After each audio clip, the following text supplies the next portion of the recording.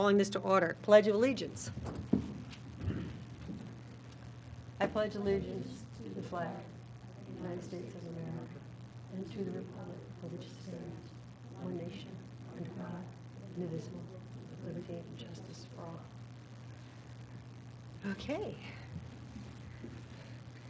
Uh, First order of business, let's get this out of the way. Uh, Did everybody have a chance to look at the minutes of the January meeting, which we could not approve last month because we didn't have a quorum? And um, that's the one that we need to approve. Uh, And I hope people have had a chance to look at the notes that we t- uh, were taken for the February one. But right now, I, um, if everybody's had a chance, um, I would entertain a motion to approve the minutes. Anybody?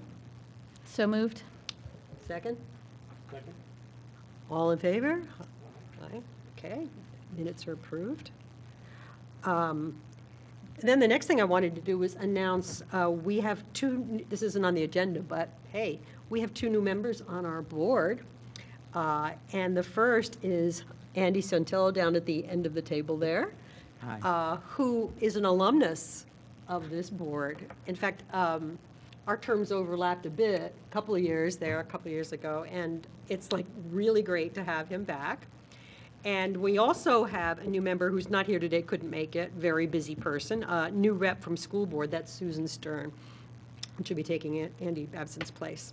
So anyway, welcome to you, Andy, and welcome to you, Susan, you're out there somewhere. Hopefully you'll, you'll watch this uh, recording. Okay. Uh, Reports. Take it away, Tammy. Thank you. Uh, So um, just to talk and reflect a little bit uh, on the February March report, uh, this time of year is an overlap of three different seasons for us. We're, we're coming out of a very busy winter. We have very busy spring that's upon us, and then, of course, all of the planning and everything that goes into summer. Um, Not to mention when- that when it's time to get outside, it's naturally, of course, a very busy time for Parks and Recreation. So we have a lot of things that have been going on. Um, Some of the really successful things just coming out of winter uh, really was our pre- preschool basketball program, uh, continues to be a really big hit. Uh, We actually did that at Radnor Elementary School this year, um, so we definitely want to thank the school district for letting us use the space, as always. Um, 60 participants over, over the course of the three sessions, it's sold out. Uh, We also have our, our Champions basketball program that takes place annually. Um, This is to meet um, some of the needs of uh, some of our developmentally challenged children uh, participating. And we, that takes place at Radnor Activity Center. Again, super successful, 26 participants, and we have an array uh, of volunteers. So we want to give a special thank you out to them for participating and making that program so great. Uh, we have two leaders that run the program, but then we also have um, a bunch of volunteers too that come on board and help us. So we want to thank them. Our indoor tennis program, uh, which is a partnership that we run with Radnor Racket um, and an instructor that we uh, coordinate there. It's been extremely successful. Um, so for any anybody thought that tennis was a dying sport to pickleball, it's definitely not the case. Um, tennis is still holding very strong, even though pickleball, of course, is, is gaining in on it uh, pretty significantly. Uh, but our tennis program over there had 64 participants, so extremely successful. Um, and something that uh, we continue to offer as we go into, into the spring as well which just to reflect a little bit on spring, uh, not included in the report, uh, we, we didn't get a chance to put this data in, but our soccer shots program that's teeing up to start in April over at Clem Macrone Park, we have 211 participants over the course of 19 sessions, takes course over four days. Um, we're very keen to make sure that there's communication regarding parking and overlap with any activities and things like that that, that take place. But the sessions are all pretty well spread out, so it sounds like a lot, but over a course of 19 sessions. So, um, but super successful, and we have a very strong working relationship with with Soccer Shots, who is the the vendor that we oversee and partner with to deliver that activity. Uh, likewise, our preschool T-ball program extremely successful. Uh, we have four sessions right now that are sold out for that. Um, so we have a busy spring coming. Um, already looking into summer, our Radnor uh, Wizarding Camp is sold out at Hilltop Preparatory School. Uh, that's actually run by our very own Tracy Kroom, who's been heading that program up, uh, along with a number of our summer staff that join us that have interest in you know, expertise in wizarding and Harry Potter, of course. Um, so we are taking a wait list um, as of right now. Sometimes folks, you know, withdraw as we go along. So We'll make some room, obviously, if we can, um, but difficult just, you know, given the space and, you know, the timing and everything. So we'll probably just stick to the two weeks and not be able to add any additional sessions. Radnor Day Camp uh, opened up its registration last week, and um, we we were interested to see how it performed. We had like 100 people on our interest list. 83 of them have registered, so we definitely um, we have that uh, moving along every day. We see registrations accruing every day, and right now, of course, we're in the in the process of planning for day camp, which is um, definitely not a small task. Uh, so I just I want to give a special thank you to the school district again, um, just for their um, inner workings with us and the use of Radnor Elementary. Um, I can't say enough how how grateful we are to have that site. Uh, just given the proximity to the nature park and Harford Park, now we have the new trail to go to, to Harford Park. Uh, there's also the proximity to Radnor Memorial. It just really makes for a much more dynamic location to be able to deliver camp um, versus if you'll remember last year we were at Radnor Activity Center, kind of more of a you know single dimension type of facility. Um, Radnor Elementary itself, we have some of the classroom space, we have the gym, we have the theater. It just really opens up the dynamics of what we can deliver there and, and making sure that it's a, a great camp, fun, and has lots of really great activities. So we're in the process of hiring. Um, that is, uh, staff recruitment is a, a very big topic, I know, sweeping the nation, of course. Um, and of course, we're not immune to that at all. We, uh, trying to hire as best as we can. Things have been a little slower than usual. Um, so allow this to be an advertisement for anybody who's looking for a summer job. Uh, we do have a lot of great leadership that are that are returning this year that are coming back into uh, their positions, but we're still hiring for lots of leaders, specialty coordinators, um, and a couple of other different positions. So if anyone's looking for a summer position, um, it's something where they could work for the six weeks at day camp, and then we could also um, bring them over to Harry Potter camp as well and give them eight weeks of, of employment. And it's really, um, you know, beyond the, the money and getting paid, you know, and having a first job, it's really, there's a lot of value uh, that they gain and teamwork and, you know, being able to mentor, you know, and, and, and um, you know, help kids grow and, you know, build confidence and all those fun things. And, you know, something social to do for the summer, too. It's a lot of fun. The staff builds a lot of really great relationships out of it. Um, we, uh, we had in February, uh, after our last meeting, we had the Sweetheart Dance, which formerly known as the Daddy Daughter Dance, in its 11th year. Super successful at the inn at, the, at Villanova University. Uh, we had 245 guests. We did sell it out, and it really was an amazing night. We all worked that night and were there um, interacting with all the guests, and we had a lot of really um, happy uh, family members, I will say, because we had um, a variety of different people attend the event, from dads to mothers, families, sons. Uh, it really was unique, and folks had a whole lot of fun. Um, we also had on, um, actually on Valentine's Day, we had the Bishop Richard Allen Park, um, the wreath laying ceremony, uh, basically to commemorate Bishop Richard Allen's famous and historic walk through Radnor in 1784. Um, there's some pictures and stuff up on the internet that you can take a look at. I know within the report I provided some links, so you could go to the event website and take a look at all of those. Um, this is a partnership event that we do with the African Methodist Episcopal Church from Ardmore.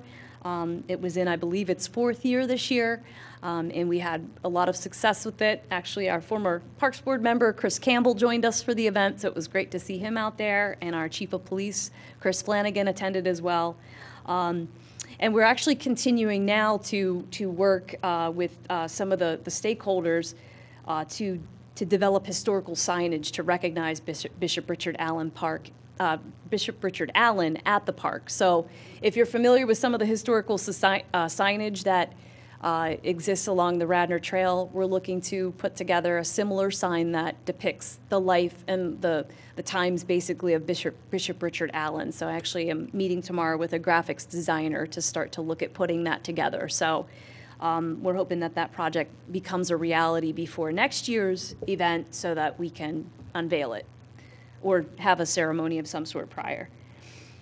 Uh, our second annual Teen Flashlight Egg Hunt is coming up on April 1st. Registration's filling quickly. We have a lot of really great prizes that'll go along with that event. Um, some exciting gift cards to places that teens like, like Starbucks and Tilly's and Chick fil A and Insomnia cookies, stuff like that. And um, we're already up to 66 participants, so um, it's filling up. Uh, and I think we'll probably take somewhere around 80 to 100, and that takes place at night along the Radnor Trail. It's really a fun event. We did it for the first time last year, and we're excited about it again this year. Um, I uh, wanted to uh, give a little adverti- advertisement for Radnor Conservancy's um, partner event uh, with Birdtown, which is a organization that's coming back to fruition in Radnor. Uh, Phil Whitmer is going to be doing a bird-friendly yards and bird watching basics um, seminar on Saturday, April 9th, from 8 to 10. Um, There's information, of course, up on the, in the internet about that. Uh, It's going to take place at uh, the Willows Park.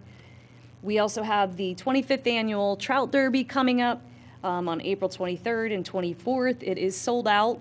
We have uh, 50 participants in each session. Um, We're going to have a parking attendant, of course, down at Sawmill, because it's going to be very busy for those sessions. Um, As you know, there's not a lot of parking down there, but it's a great location um, for this annual tradition.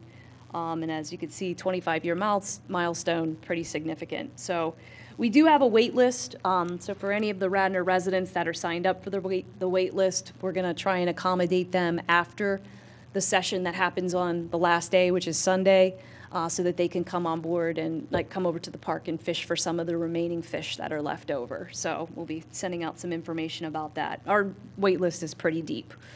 So we'll be working with those folks. We have an orienteering event that'll take place on Sunday, April 24th. Um, There's about 60 participants, participants that are in that. Uh, It's also taking place on the same day as a Willows Park Preserve event, which is a wellness event that's going on at the park. So there's going to be lots of different activities like yoga and um, mental health, mental health activities and wellness activities. Um, so we have information going out in our newsletter about that. And of course, you can check out the Willows Park Preserves website and learn more. Um, this is a first year event for that. The 30th year Arbor Day celebration is coming up on April 29th. Um, we are planning to hold it at Odoriceo Park. It also commemorates 150 years of Arbor Day, which started um, on April 10th, 1872. Um, And then we're also going to be doing some plantings to replace some of the trees that had recently come down and had been removed at Clem Macrone Park. We have the eighth annual Wheels of Wayne event in May, so we're getting excited for that, back in downtown Wayne. And we're also planning, um, we're, we're working with the school district to plan a grand opening uh, for the TAP Trail. So that's something that's on the horizon, as well as uh, planning with Radnor Wayne Little League to do a grand opening of the Emlen Tunnell Comfort Station. We didn't have a chance to celebrate that one, even though it opened um, about two years ago. So we'll be excited to do that. Um, on uh, Monday night at the Board of Commissioners meeting, uh, just a couple things I know that'll be on the agenda, just to report. I know you guys try to take a look at this on the website, usually before those meetings, but we do have legislation about the Radnor Run. This year's the 45th year of the Radnor Run, Um, so there'll be a a legislative summary there for the board to evaluate with regards to the support and partnership that we give to the American Lung Association. So 43 of the 45 years of the Radnor Run, uh, Rad- the American Lung Association has been the beneficiary. Um, So it was exciting to, to go back, and I recently looked up some of the history and the old Parks and Recreation Board minutes that go back to the 1970s. There was some really fun stuff in there. Um, And got to learn about the year that we actually started partnering with the American Lung Association. So the board's going to take a look at that for approval. And then they also are evaluating um, legislation that um, pertains to the prohibition of the sale and distribution of the kratom and the Del- Delta 8, which is a discussion that's been taking place publicly, um, that would preclude the sale um, within a 1,000 feet of a school, a playground, or a, or a daycare. So I figured that pertained to parks, so I wanted to point that out, that that's going to be on the agenda, as that's a topic that really has been getting a lot of discussion uh, publicly recently. Um, Aside from that, uh, just a couple of other just really quick updates. Radnor Memorial Turf Field, I think I mentioned at the last meeting, uh, is going to be replaced in June, just since this isn't like an agenda item, but a park-related project. Um, If you you remember, the park opened, the the turf field rather, opened in 2012. Um, So it, uh, given the amount of usage that it gets on a regular basis all day long, including the nighttime usage with the lights, it's definitely in need of repair. Um, That is an expense that Agnes Irwin, uh, per the lease uh, ordinance will be making in totality. The township doesn't pay for any of that. Uh, So we're working with them through that process. Um, the trail projects, I just wanted to direct your attention to the website. Uh, We we do have the website updated with all the trail project presentations in detail that sit out there. Um, If you get a chance, you can click on that link within the report. You can go to the website and take a look at those. I know we've gotten some questions about the status of the Darby Paoli Trail, the status of the Radnor Trail Extension, two of the projects that are ongoing. As, as you know, the TAP Trail's been completed, the Harford Trail's been completed. So the, the other two there are the ones that are outstanding and still under design and discussion. And I expect at some point the Darby Paoli Trail um, will come back to this board in some, in some way for continued review. Um, Once uh, the design is wrapped up uh, for evaluation before it would go to any type of bid um, on behalf of the, you know, with the commissioners. Uh, and We also have, right now, the, the Willows, at the Willows Park, um, the water line is currently being replaced, so there's a lot of disruption at the entrance that I'm sure everyone has seen. Um, I'm told from our township engineer that will probably wrap up in April, so fingers crossed that timeline sticks and we can get, you know, everything cleaned up over there and get the grass growing back. Um, and then start to look to the future of replacing the entrance and the roadways and stuff like that. I know that lays on the horizon. Uh, And lastly, just a quick update, uh, had a meeting with Radnor Wayne Little League to talk about some of their projects, um, things that uh, they've been working on. I know they're excited for another really successful season, of kids playing baseball and softball. Um, We're working on uh, getting the, the temporary batting cages put up at the different sites, so those typically go up at Odoricio, Philippone, and Emlen Tunnell. And then we are continuing to look at that permanent solution at Emlen Tunnell. I know that we discussed that when we put the comfort station in. We were looking at more of a permanent batting cage arrangement similar to what we have here at Encke. So we're starting to talk about that and some of the restoration of the area in and around um, the comfort station, uh, the concession stand, com- comfort station at Emlen Tunnell along with also the potential of a small storage facility. Um, There's some storage needs that still need to be met um, with regards to the site and accommodating some of the things that are kept there on site so that they don't have to be moved over here to Encke to be stored for the off-season.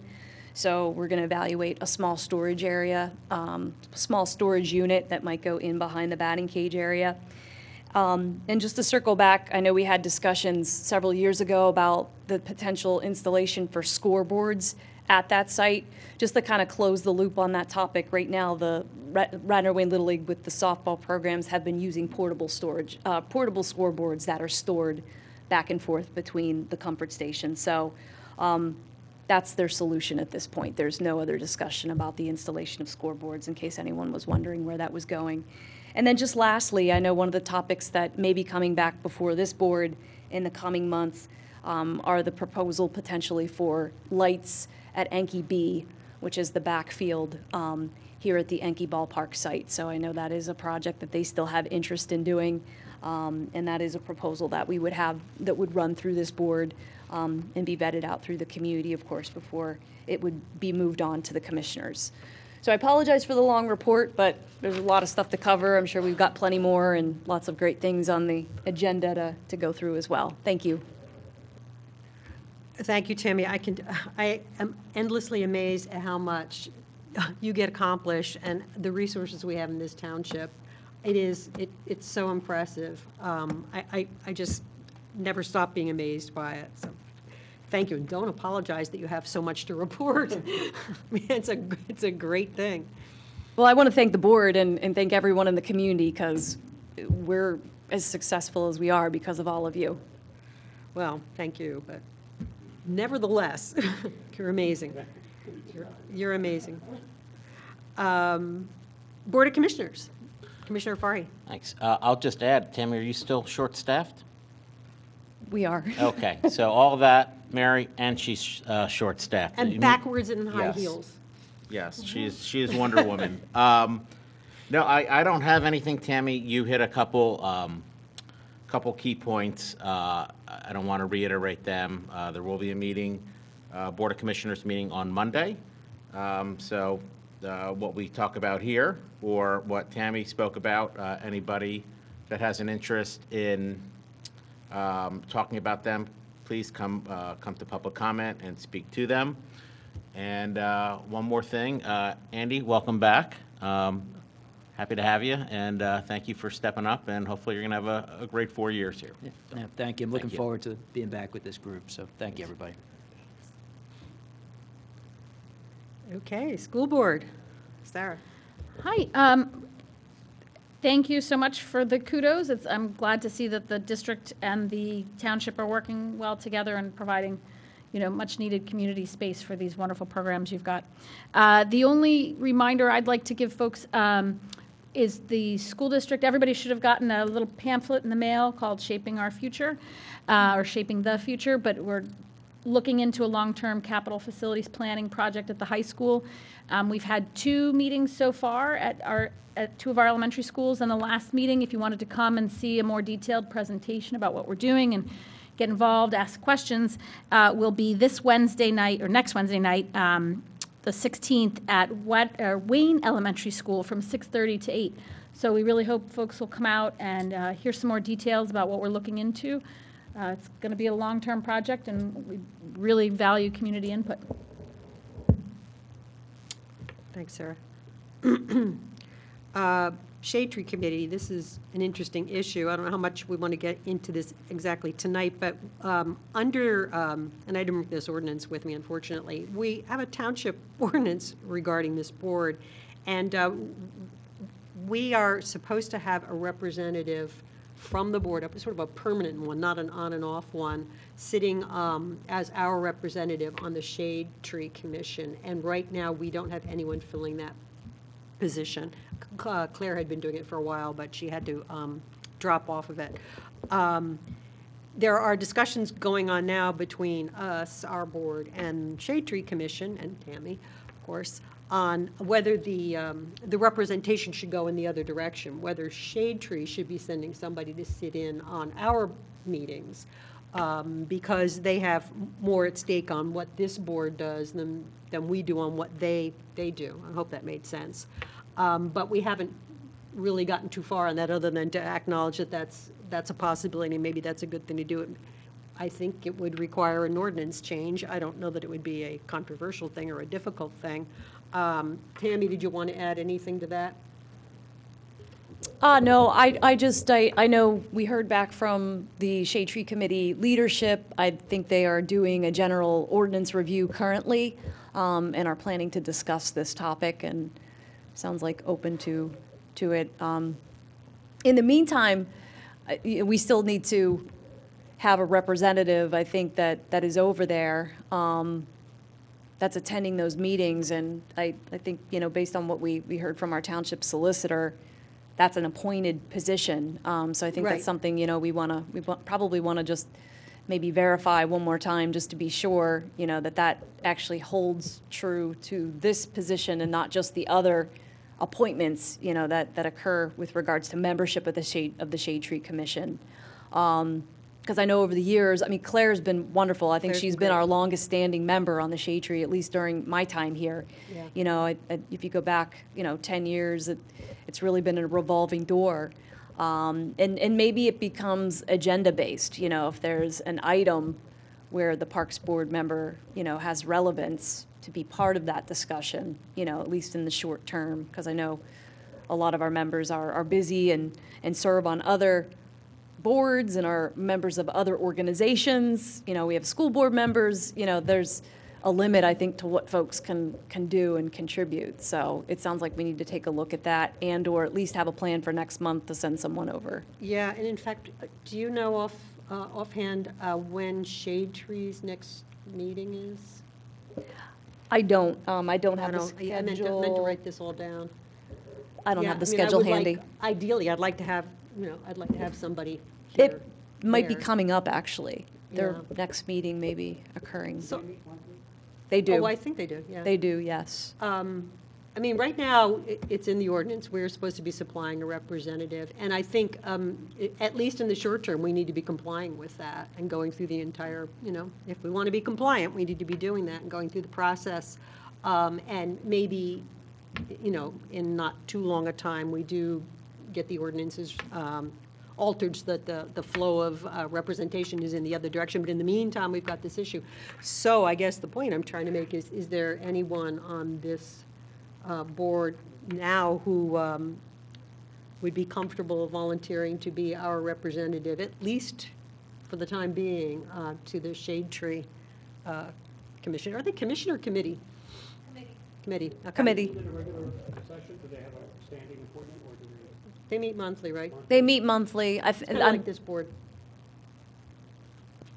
I don't know if anybody has the time. Can I, I, I'm not volunteering, because. Yeah, well, you, you're But- already. But what, no, but my suggestion was, you know, sometimes when the, when this stuff has come up at the school board, what we do is we ask kind of for a description of like the time involved, like, you know, is it, is it you just on the shade tree committee or are there committees of the shade tree committee that then you might get also assigned to? So kind of so people understand what the That's a time Good point.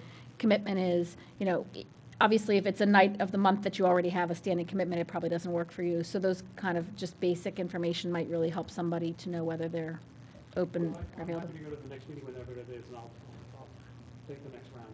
It's the 23rd. Twenty-third, and they meet where, you know? They meet here at 6:30, so that's a Wednesday. Thank you, Bill. I'll send that Good, and we'll I'll hash let this out. the, um, we have a staff member who distributes the information and agenda. We'll make sure you get it. Thank you for doing that. And uh, we'll figure out what we're going to do longer term, but that, that would be nice at least to have that meeting covered. I really appreciate that, Bill, thanks a lot. Um, uh, Any other reports from anyone? Anything? Okay, let's move on to new business, Odoricio Park improvements planning discussion. Yes, this is an, an item that we started to talk about last month, um, but as you know, we didn't have a quorum, so I left it on as a new business item. There is um, considerable interest from a lot of folks to make improvements to Odoricio Park um, in regards to the areas where you have the parking lot, uh, both the, the main parking lot and then the other parking lot, which sits above the third base line, up, you know, up above the, the ball field there. Um, the playground, the comfort station, I know we still have, um, you know, some discussion about the woods area and the wooded area. Uh, There's some potential for restoration in some other areas um, with regard to the park and improvements. So we want to start to get those conversations going um, and, you know, naturally start to hear from the public. So I think there's a, you know, there's a lot of areas, um, you know, in the park that really could use, you know, improvements. And as you know, the, the basketball court improvements are occurring. I know we're going to talk about those a little later on the agenda, but that project is going to start on March 28th, uh, which is a Monday. Um, we also have Legion Baseball uh, that is proposing dugouts at the site potentially, um, which I know is something that had been talked about for years. Uh, There's also discussion about potential storage behind the backstop. Um, So I know they have an interest in, in some of that, and, and, you know, some of those improvements, I think, could be vetted out comprehensively as we go along this process. Um, so in having those discussions, I, I would like to see us get a letter out to the residents. Um, so I know, you know, not everyone tunes into this board meeting and not only, not everyone really looks at social media all the time or the website, even though we've been putting it out there. Um, I'd like to get a sign up at the park. Um, and then, so we thought that if we get a letter out to talk about um, solicitation of input, giving them the dates of the Parks and Recreation Board meetings, encouraging folks to come out, tell us what they want. Um, Really similar to what we're doing right now with Fenimore Woods. Um, Thought that would be a good, a good place to start and establish an email interest list um, for folks who want to, you know, engage electronically and submit information. We can evaluate maybe in a couple months doing a meeting on location, whether we do it at the park or we do something at the Radnor Township Civic Association, which backs up at the park. I know that they've been very generous in their willingness to allow us to host a meeting.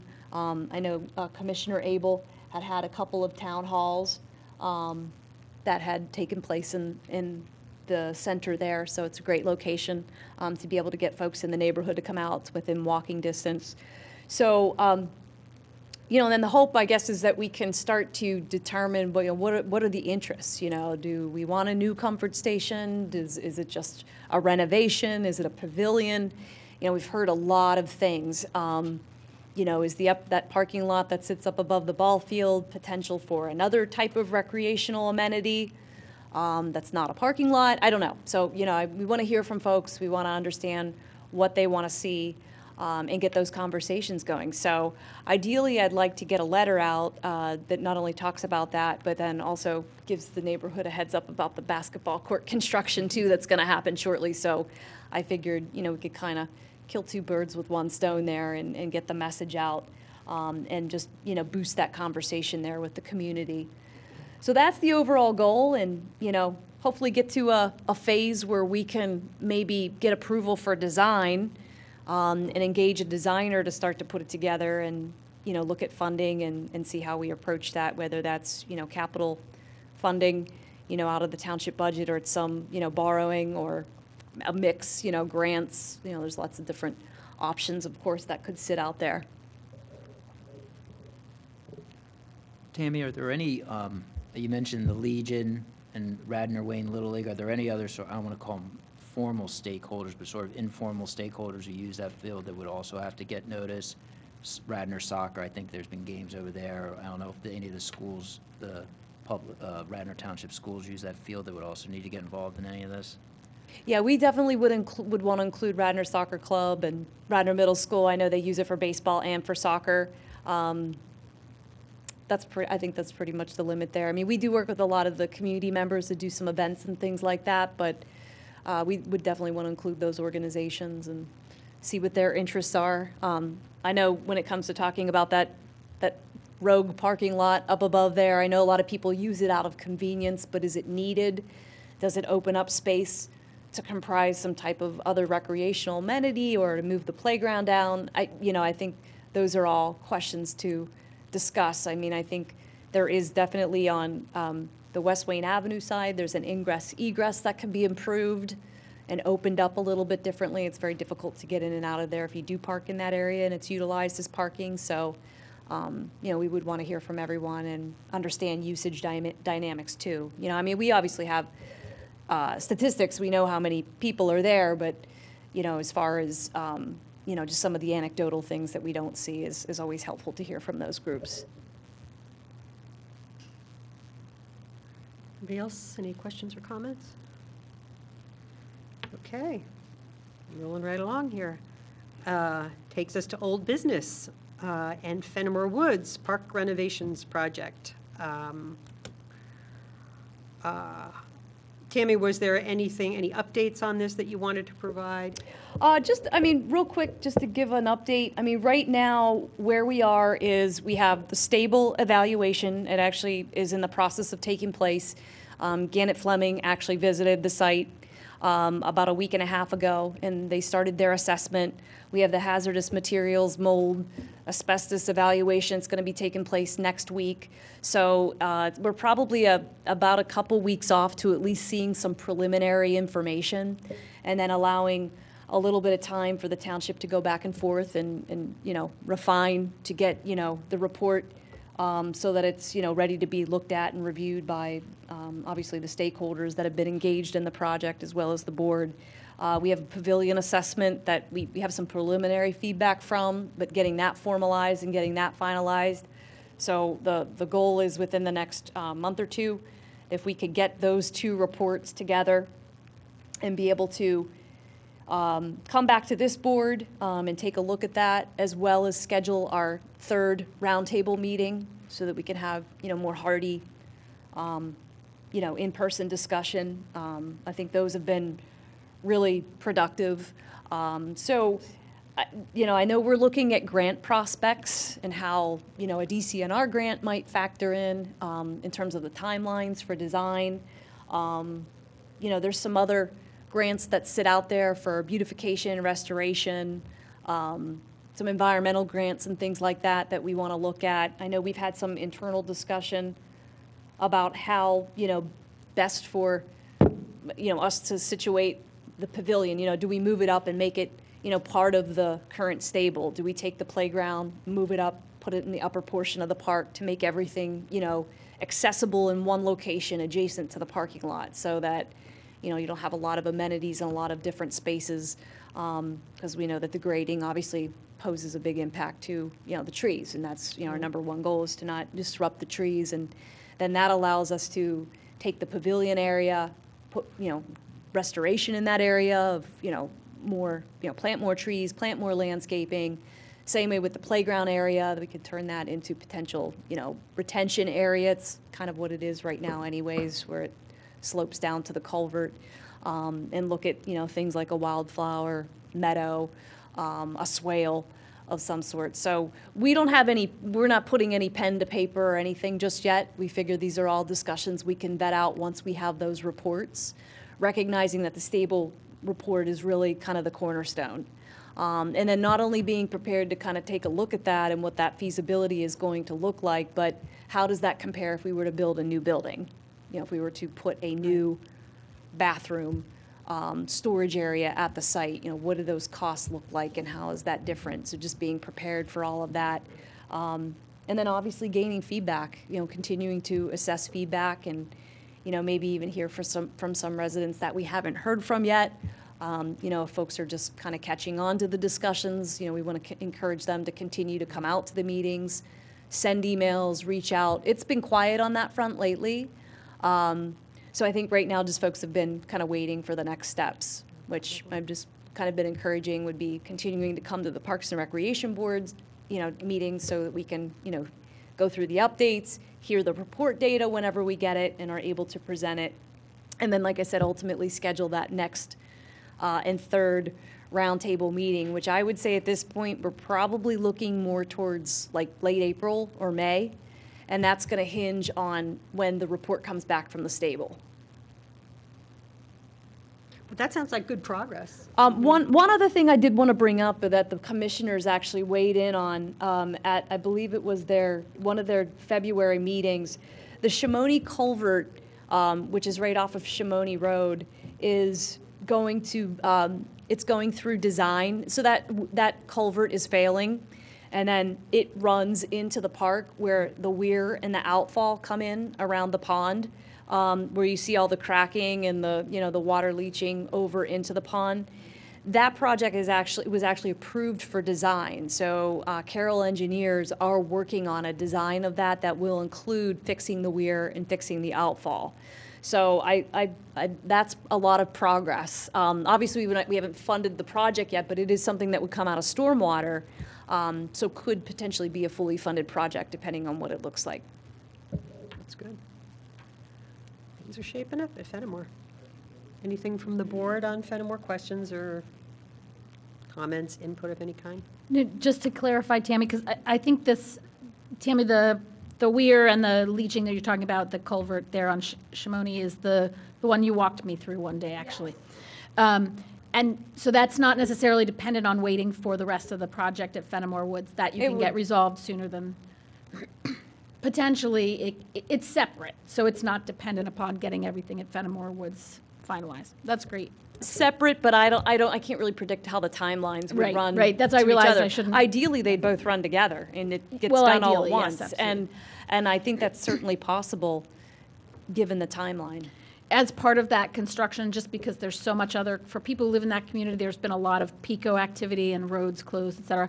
Will, and I know this is not happening next week, but will there need to be road closures as part of that to repair the culvert piece? I believe so. Okay. Um, I'd have to find out from Steve ultimately what that looks like, because I'm not Okay. sure, I don't know the nature exactly of the repair, but I would imagine there'd be some traffic disruption. Yeah, I, it- I don't have to go that way, but I think a lot of people do, and I think, and it's hard to, I get sent that way, actually, when other things are closed. So I think it would just be, be really good, especially given how active the community has been i around Fenimore Woods, that if, you know, when, if and when that occurs, we're really good about communicating, uh, you know, even you know, a sign that says, you know, expect road closures here starting a month from now. You know, like sometimes they put up those notices that say, you know, this road to be closed.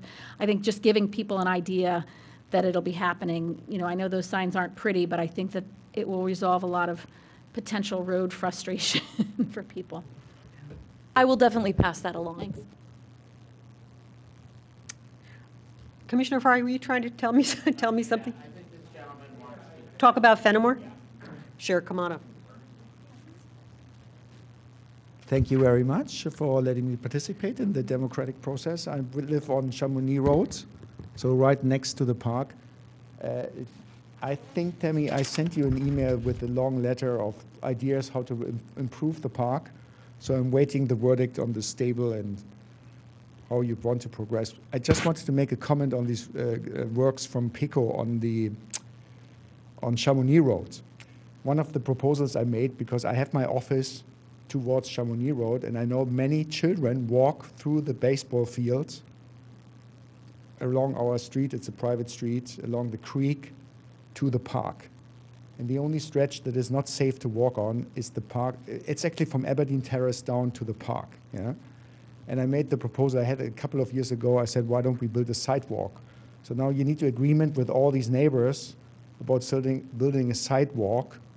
And our neighbor just changed. So we have a new neighbor. It's a young family with a small child.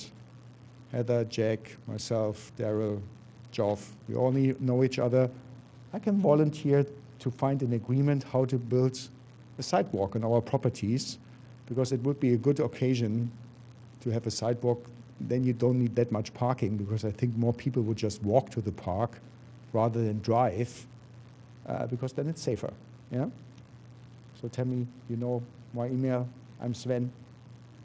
And if you want to have some support in finding agreement how to build a sidewalk and who does the snow shoveling, because that seems to be the big problem, I try to find consent. Yeah? Okay. Thank you. That was my input. Thank you. Thank you. Nice to meet you.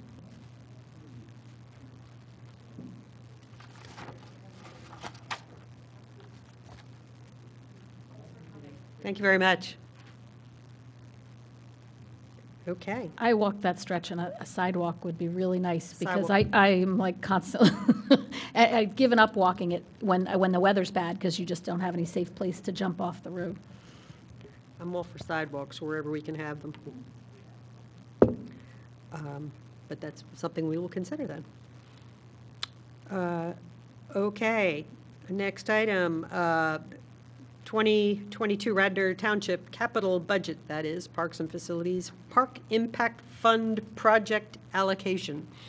This is the, um, uh, the wish list of uh, park projects that could uh, be um, potentially funded by uh, monies in the Park um, Impact Fees Fund that comes from developers, um, this one-time charges that are assessed to uh, uh, to developers in order to develop their properties and help pay for any new or expanded or improved facilities, um, uh, or the increased use of, of parks because of those developments.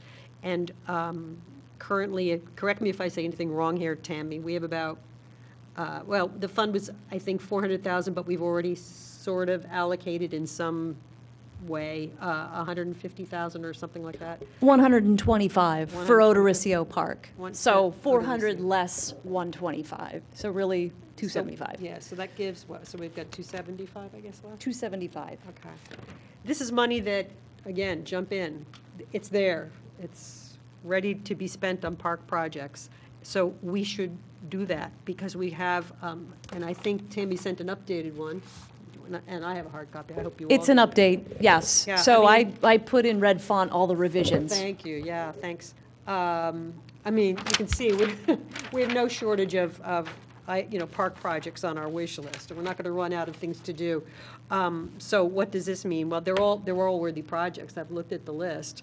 Uh, we need to come up with some sort of prioritization, and, and I would say quickly, because the money is there, let's spend it, let's let people start to use these, uh, you know, enjoy these amenities.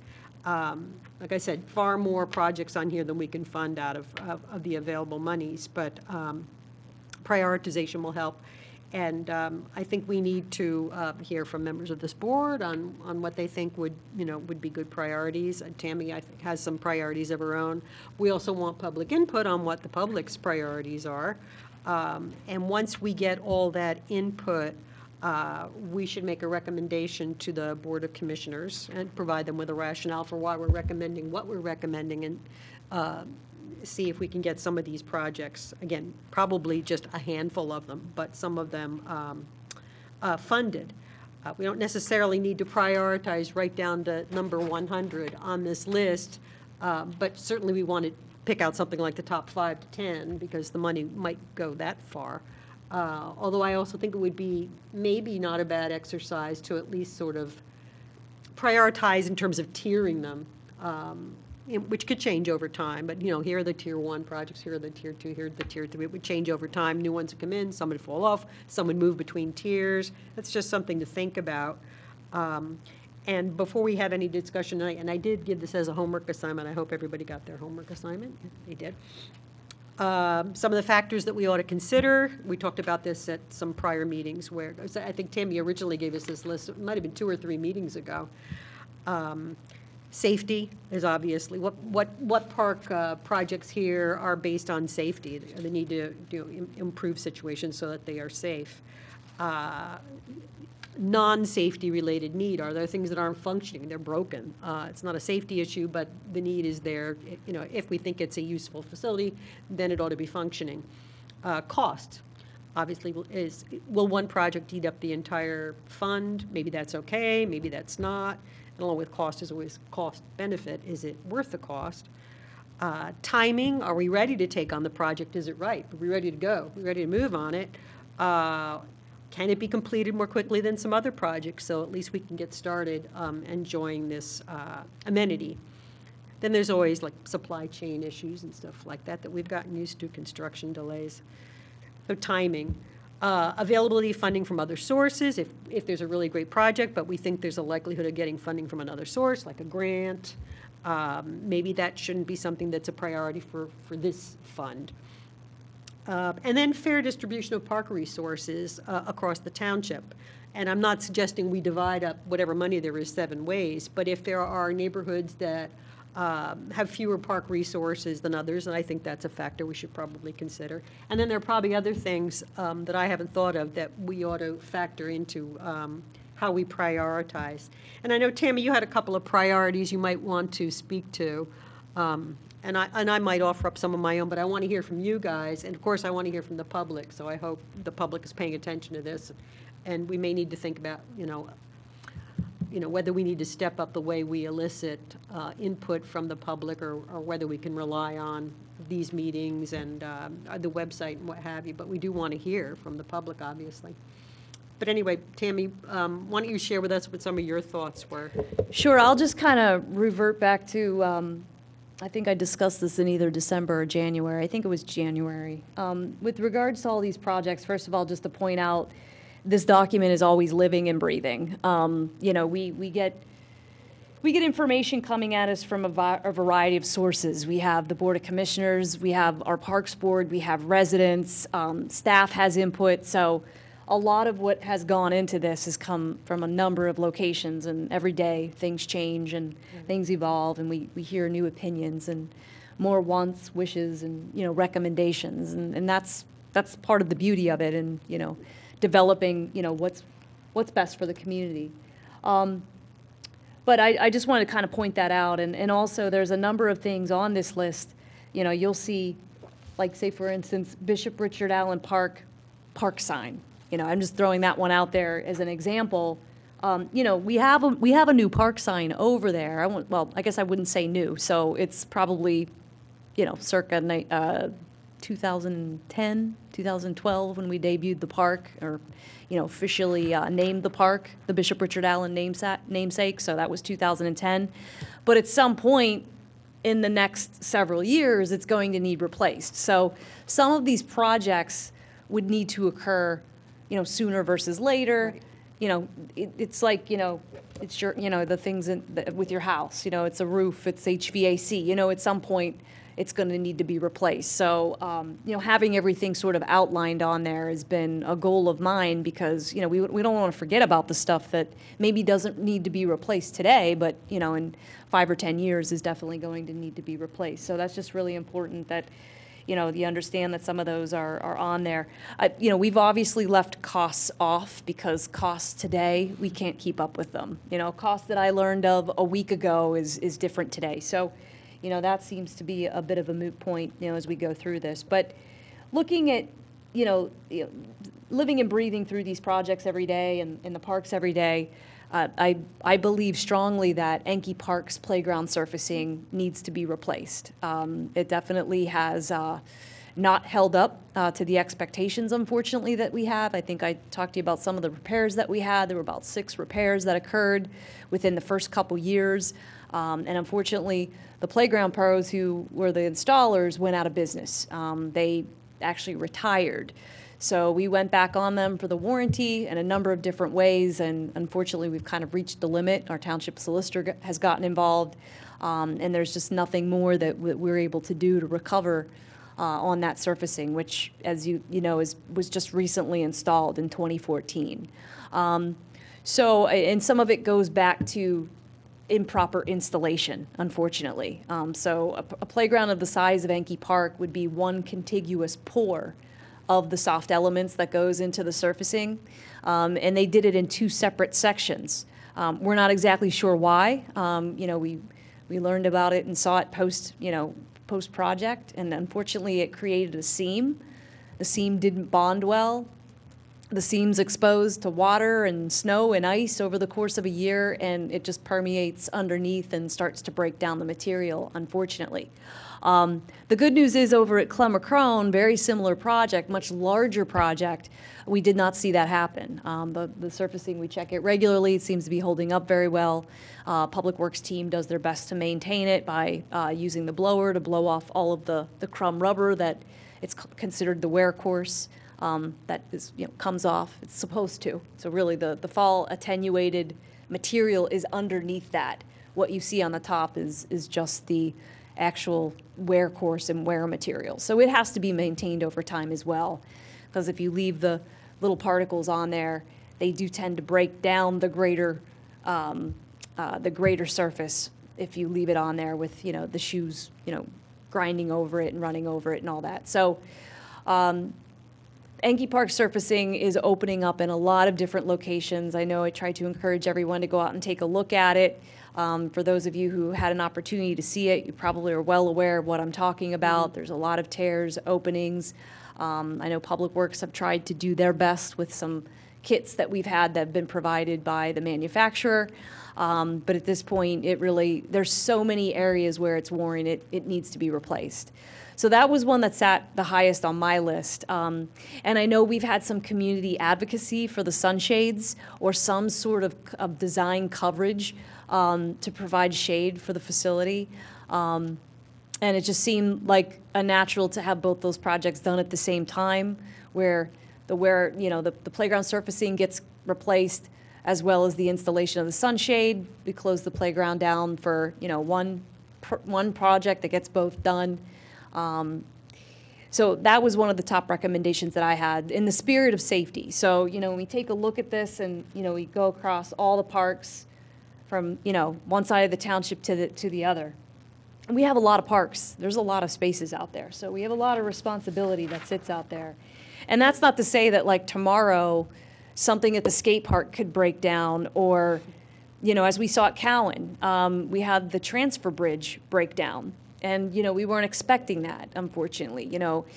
So those things are going to happen. We had two slides break last year, one at Odoricio and one over at South Devon. We had to have those replaced. So projects are going to come up, but as, as we look at things right now, I think that's one that sits at the top. I know we discussed a little bit about um, fencing over at Harford Park to separate the dog area and the parking lot. Uh, We've seen that be successful at Friends of Radnor Trails Park. That could be a consideration.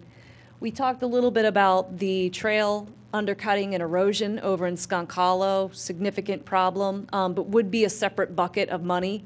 Um, I don't think the 275,000 that would be sitting in this fund would, would necessarily get that job done. Not to mention, there's a lot of uh, pieces with DEP and Army Corps of Engineers that we have to go through to be able to restore Stream Bank. Um, so I know we were looking at some alternatives in the meantime on that to see where we can close the trail down and possibly reroute some of the areas. So I know we're looking at that with the scouts. Um, So, I mean, that, th- that would be my recommendation, and I know that the Odoricio Park improvements are something that sit on everybody's radar. So one thought might be is to allocate some funding for design um, after we go through a public process, of course, and gain some feedback, um, you know, on that particular project where we can look, look at, you know, development of the comfort station, the play, you know, the playground, and some of the other projects that may be desired by the community. Tammy, Um, can I just ask, just for quick clarification, because the Odoricio Park is on here, which makes sense from a, you know, an inventory of all of our parks, but you said there's $125,000 set aside for Odoricio. It's not clear to me that would cover all the items listed here. Is, are any of these, are these all separate from what that $125,000 is earmarked for? Well, the thought is- The bucket that we can start there, but we may need to pull more of the 400 for this. we would probably have to pull more. But that, so that money was earmarked by a developer right in the Odoricio community. So um, I think that was really positive thinking because it, you know, is going to be applied right at Odoricio Park. I know there was talk when the money came in about maybe redoing the parking lot or, you know, some other specific area of the park. So we haven't had any further discussion on what that would be. Um, So my thought was, is that, you know, you probably could cover design within that 275, um, or, you know, I don't know that you want to take the 125 and put it right towards design. I would almost, you know, save that and earmark that towards an actual improvement, you know, construction-based im- improvement. But I think design is something we're going to have to think about, you know, now that we know we're going to engage the Odoricio community, we're going to have to be able to fund, you know, someone to put, even though we're, you know, we might not be talking about a lot of areas of the park, you know, I don't know that we're going to change the ball field and move it and do something different, and we already know the best, the basketball court's being replaced. Who knows, you know, ultimately, you know, we might only be talking about the woods area and, um, you know, the strip of land there where the, the comfort station and the playground and everything are currently situated. Can I jump in here? Uh, I'm sorry, Yes, Sarah, please go are are ahead. you, okay. Um, Tammy, I think that's actually uh, a a- a great idea, uh, just in general. Um, And this is something, uh, Mary, that you said, that you brought up. Um, You know, doing things, uh, doing them once, closing them down once, so you're one and done. So if we do put the sunshades up or look at doing something like that, do it in conjunction with replacing um, the, the, uh, the foam or whatever the padding is. So the kids don't have it shut down all year, just, um, and I think that when we look at this list right here, we should look at, um, you know, and, and it becomes a pro, it becomes a problem sometimes, but we should look at, um, what can we do to, to shut things down once. Sarah, uh, to your point, roads, uh, is a big thing as well. So if we're putting a culvert in and the park is gonna not be used because there's heavy equipment and there's roads, let's look at everything that we can do within a reasonable budget and time frame. And obviously, if you can do it in the off-season, not always the case, pouring stuff, but obviously, we know that um, playgrounds are probably used uh, more in the spring, uh, fall, and summer than in the winter, but occasionally we get a couple really nice days. Um, So that, that's actually a really great, great point, uh, Tammy. The other thing too, and this kind of hits again to something that Tammy said with, uh, um, like the, kind of the whole shade tree and the whole um, uh, Parks and Rec. So I'm looking here and it says like, you know, this needs to get replaced every 20 years or every 10 years or every 15 years. Uh, And this may be a pipe dream and it's not necessarily related to the capital budget, but it kind of is. Um, Where if we had someone shade tree like uh, our arborist, look at each tree and say, this tree probably has five more years or, or 10 more years left in its life, that we're not going to do a, a, a clear cut, as a lot of people worry about. And if we can inventory these trees, and I know it's not your job, Tammy, it's going to be more of a shade tree and more of a community effort, but uh, Public Works and you, you'll work in conjunction with uh, one another. But if you look at these trees and you know this is, uh, you know, a white oak and it's got a lifespan of 50 years, or, you know, if something is sick or something is getting brittle, like those Bradford pears, um, we can kind of um, just look at each tree and expect, uh, and their life expectancy, and uh, plant one before we take one down, or maybe plant two before we take one down, and look at the different species and how long they last. So just kind of piggybacking, uh, great idea, Tammy, and, uh, yeah, so, that's it. So also kind of piggybacking on that, because I think what you were also saying is we could, you know, if you're looking at trees and you need to do work, so for example, right now, there's some questions about whether some of the trees at Fenimore Woods are healthy. You know, being able to do those things in conjunction with other renovations at a park so everything's kind, you know, it's the, all at once, rather than sh- shutting down pieces of parks all through the year, you know, if you've got one and you can shut it down for a month to get all that work done is helpful. One question I had, Tammy, and it's certainly not something we're going to resolve tonight, but just kind of as a long-term thinking, and it came, it came to mind when you were talking about like the, the sign at Bishop Allen Park, and you said, you know, it's, it's about 10 or 12 years old, it's going to be, need to be replaced in the next two or three years. And I don't, I don't know the system you have this in, but I wonder if there's a way to kind of, and I know we're focused on this year, but to have like a, a planning, you know, the next three or the next five years that says like, do buy, you know, uh, so we all have an understanding, you know, yes, it's a 20-year useful life, but we're only 12 years in, or it's, it's a 15-year useful life and we're 20 years in, so this is getting more and more urgent, we're living on borrowed time kind of thing. We do, that, this have that, it's just not on the- here. Yeah, this sits within A much greater- more yeah, complex and sophisticated yes. system. Okay. And part of that system has costs in it, so Got it. that's why Got- that's kind of so clipped much you out. Yeah, share. because I I didn't it. want everyone to have a, a- you know, be hung up on the cost then, and No, that's as we know, those are ever-changing right Yeah. now, so. Yep. But yes, absolutely. And does your system also then have something that kind of indicates um, the urgency level? Kind of to, to Mary's point about safety, et cetera, but also kind, again, how far behind we are on things?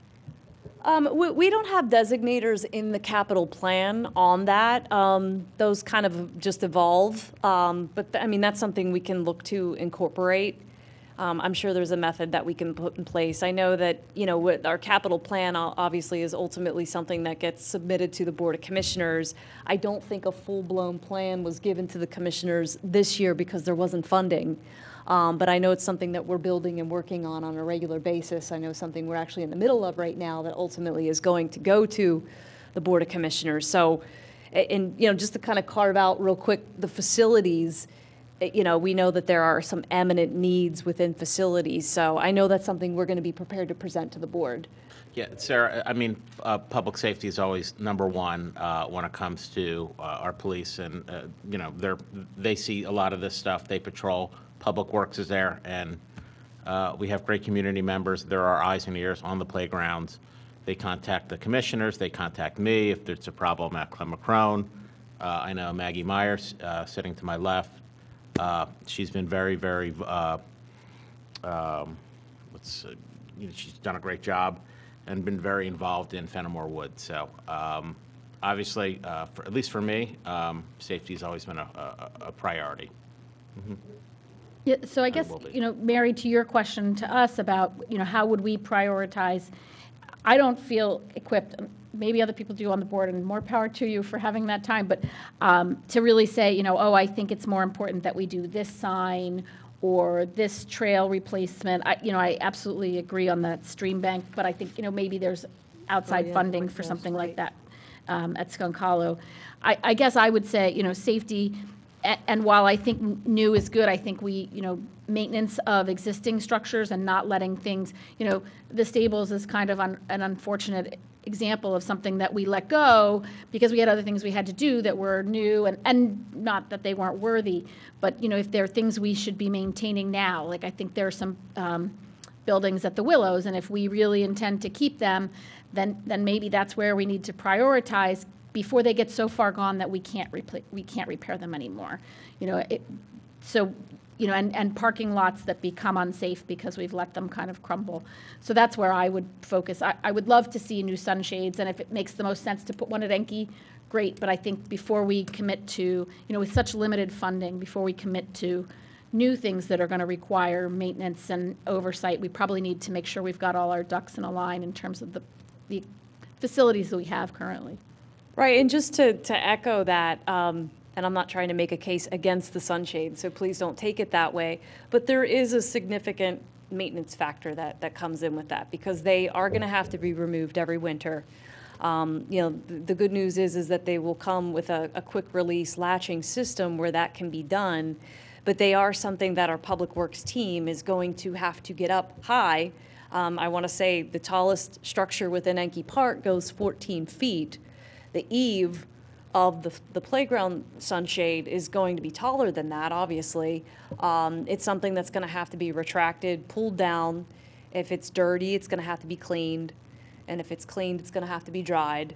If it's dried, it's going to have to, you know, obviously lay in a, in a spot for a significant amount of time. And, you know, we're talking about something that's, you know, 55 by 45 if we're really going to cover the, the main playground structure. Um, so there's a, there's some different scenarios we can look at, you know, in terms of the shades, you know, we can do like singular cantilever, you know, based um, shades that go over certain aspects of the playground. Um, but I know in talking with the residents who were interested in this project, they wanted the entire main play structure covered. So you're talking about a very big shade. Um, so once it comes down, it's got to go. It's you know, it's got to be cleaned. It's got to be stored. It's got to be free where mice can't get to it and chew on it in the winter. That's what they like to do. I know they do that in my attic and get into anything that has some sort of cloth to it. So storage is going to have to be a really key factor. Um, and then they've got to be put back up, you know, in the spring. And then it's going to have to be done all over again, you know, come October, come November. Um, so there's a there's a maintenance factor that goes along with it. Uh, the lifeline on them, you know, from the feedback I've gotten, it just varies, you know, but could be 12 to 15 years. Might not get a full 20 years, you know, out of a sunshade. Um, once the UV hits it, even though they'll have UV protective coating on them, UV, as you know, it breaks everything down over time. So there is a maintenance factor that comes along with that that has to be considered. And, you know, I, I you know, want to make sure that our, our public works team is fully, you know, equipped, you know, to be able to manage that. Because that's important, you know, that we take care of it. We don't want to, you know, leave it up in the winter and have, you know, a snow load end up on it and destroy it, rip it, you know, what have you. So I, I just want to point out there are definitely considerations. Um, and, you know, we've never had sunshades before, so this is a new project. It's a new project for me and, you know, our team here, you know, from our public works director to our engineer, everyone. So, you know, maybe there are alternative considerations, you know, that we can look at. Um, I don't know exactly what those are, but there are definitely some things that we could probably, you know, look at and be creative. Um, but I know we have some strong advocacy in the community, so I don't want to discount that. I just saw it as a, a likely project since the surfacing, you know, to me is a safety, it's a safety condition. And, and the, the surfacing, um, just also uh, to note, it can be restored uh, to its poured in place surfacing that's currently out there now that you're used to walking on, you know, the nice soft foam that feels really comfortable on everybody's feet. Or it can be restored to the wood fiber, the fall attenuated engineered wood chips, which is just a fancy way for saying the same type of wood chips that we have over at, uh, you know, Odorisio and South Devon and Petrie, you know, at all of our other parks. So we can restore it to be wood chips, again, if we would like to do that. Our original playground at Encke Park was wood chips. They all were, and Encke was the, ironically, I, rank- I, ironically, Encke was the very first poured-in-place surfacing project we had, and unfortunately, it failed, but it didn't fail because of the product, it failed because of installation. Um, And it takes a while for trees to get to any size, but I think we've got a lot of environmental advocates on, on this group, you know, in this group and in the community who, you know, I'm sure would prefer to see it, large trees shading parks than, um, you know, a cantilevered or any other kind of sunshade. I understand a tree doesn't grow up overnight, though, and so, you know, maybe to the extent the commissioners decide to invest in a sunshade, they could also invest in some trees in that area, that when the sunshade fails, it doesn't get replaced. There are trees there that even if it's going to be another three or four years, the community, you know, could wait for those trees to fill out and- and provide that natural sunshade. Sarah, you're reading my mind. I was, I was just going to say, what about, what about trees? You're right. I mean, it's not going to be there overnight, but if we invest, and then, you know, 15 years down the road, you've got your, what, your tulip tree that grows like 20 feet in five minutes, um, casting shade. Um, You know, maybe we should be doing both at the same time. Get those little guys in there so that they're, you know, there are some trees that grow pretty quickly that are good, have good canopies. Um, I mean, there are pros and cons with trees too, because they drop branches and what have you, but. Well, but if they drop branches on a wood mulch, that's not as bad as if they're dropping it on the surface that needs Well, as long as they're not dropping a branch on a kid. But I mean, you Oh, know, yeah, people yeah. freely go into Skunk Hollow, where there, are- last time I looked, plenty of trees. And seem to be willing to take that risk. And then we're talking in Fenimore about making sure there are trees, so clearly, you know, people don't have a problem with that. But, um, you know, in a way, something you said, um, everything you say, as usual, Tammy, makes perfect sense, but it was occurring to me while you were, were talking about safety issues. You know, at this point, with climate change and the heat, uh, and, and the impacts on equipment, I mean, it almost is dangerous in a way. I mean, you could see how you could actually get a bit of a burn from, you know, overheated equipment. So, yeah, you know, it's an issue. Uh, Mary, uh, I asked Ian to uh, put something up. I have an idea, I think that may make um, sense. I was talking with Tammy about uh, the sunshades and everything. Um, I think they're great. I think it's a great idea. Um, But to Tammy's concern, they probably can get brittle. We don't have too much experience in this type of technology moving forward. Um, So I'm throwing around ideas as I, as I do, and we're going to see what sticks. So what I thought, and once Ian, um, uh, uh, if he's able to put this up, awesome, um, is to have something more industrial, like a, uh, an industrial trellis. I mean, we've seen them all over, uh, outside fancy, you know, restaurants, uh, restaurants, outdoor dining. Uh, Once Ian puts it up, um, there we go, there we go. Something like that. Now, you're going to say that doesn't block the shade, and you're 100% right. What I would think of doing is either putting some kind of planter on the poles or on the corners and weaving in some kind of vegetation. I'm just going to say ivy because we all know what it is. Some kind of vegetation that doesn't particularly shed its leaves. You can weave it through. Um, It doesn't need to get taken down. uh, And it will provide a much more natural type of look to it. Um, I know it's not a tree that everyone wants, but it is still living, it is still vegetation, it's still helpful to the environment. Now, it's not to say that it won't have its problems. Um, You know, you would need to somehow water it if it is up top. Uh, Sarah, to your point, safety is definitely an issue. You don't want, you know, people using that as a jungle gym, so there's definitely some issues, and, uh, you know, eventually, like anything, it has a life, it would have to get replaced. But, um, and the other issue is, let's say you had a slide that's 15, 20 feet tall, and, you know, they only make it 10 feet or whatever it is, it may not cover the whole uh, playground. But I think it would, um, you know, I think something like that could work, and it could have a more natural feel.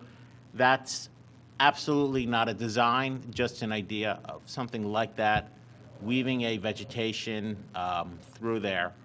Uh, I I think that could, could work as, as well. I love the idea. I mean, you could, you could just plant, I mean, I, I'm, I'm picturing posts and then having sort of this pergola thing. But I mean, if you had some sort of plant that's grow, you know, that's really hardy in this climate, Mm-hmm. plant along each post and then growing over the, the top. Sure, If yeah, you- I uh-huh. mean, it wouldn't be rain-proof, but it would be, it would definitely cast shade. No, it's, it's not going to be, you don't want it to be, you don't want a, a shade like this, because if you get a windstorm, Oh, yeah. this whole thing goes through, right? So you want holes, you yeah. want a little bit of, of, I don't, aeration, probably the wrong term, so it doesn't get taken down if there is a bad storm. So, again, I think there are probably more pros than cons, but it's definitely something I that I. I think that, you know, maybe this board and, and Tammy, Public Works and Engineering should maybe investigate to see if that's, uh, that's a route we want to go. So one of the things with that too, I know we talked about, is that it could be custom designed. So, I mean, if we did want to have it be tall enough to go over the taller structure, I, you know, I don't see that being impediment, an impediment to a project like this.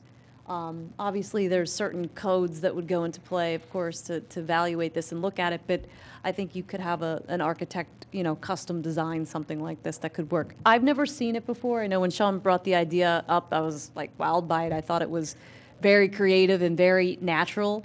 Um, and, you know, it's always it's always neat to do something, you know, maybe that someone else hasn't done and hasn't been done a lot, you Absolutely. know. I we- like We like to be trendsetters. I like that. I- I I'm- like I'll I'm that the admit it. I'll take it. I'll, I'll definitely say we like to do that, and we do a lot of that here in Radnor. Um, but I think it's creative and it's. I'm the second born, Tammy, so, you know, I've had to, I've had to get, you know, do this stuff to, to, uh, yeah, but, um, yeah, but I, like I said, I'll, thank you for at least entertaining the idea. No, I think, I mean, I think certain landscape architects would be, they would love this project. I mean, I would, anyway. We have, so- we have some folks I know have done some creative things, but I haven't seen something like this before. I mean, I've seen some creative um, pergola, uh, green roof type structures on pavilions, which are some things we'd probably be evaluating over at Fenimore Woods ultimately, but to do it over a playground is not something I've seen other than in a backyard. Um, So I think it's something that has a lot of Great merit. idea. It's a great idea.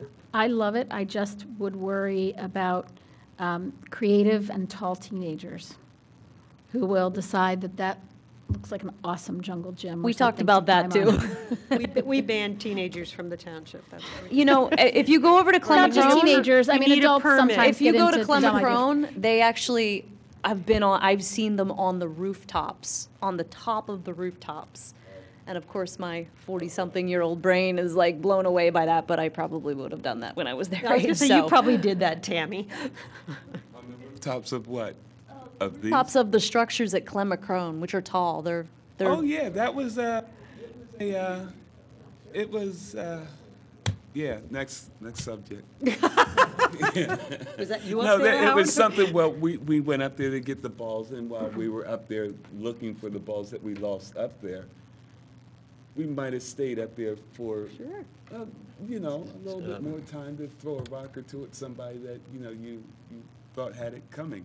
But my, my question is this, um, the, uh, the surface that you had at, um, Clem Macrone, the, the surface that you're talking about is kind of foamy and everything, as opposed to the wood chips, what's, what was the, uh, uh, just for my own curiosity, what was the, uh, the, uh, the, the, the catalyst that went for that foam over the wood chips?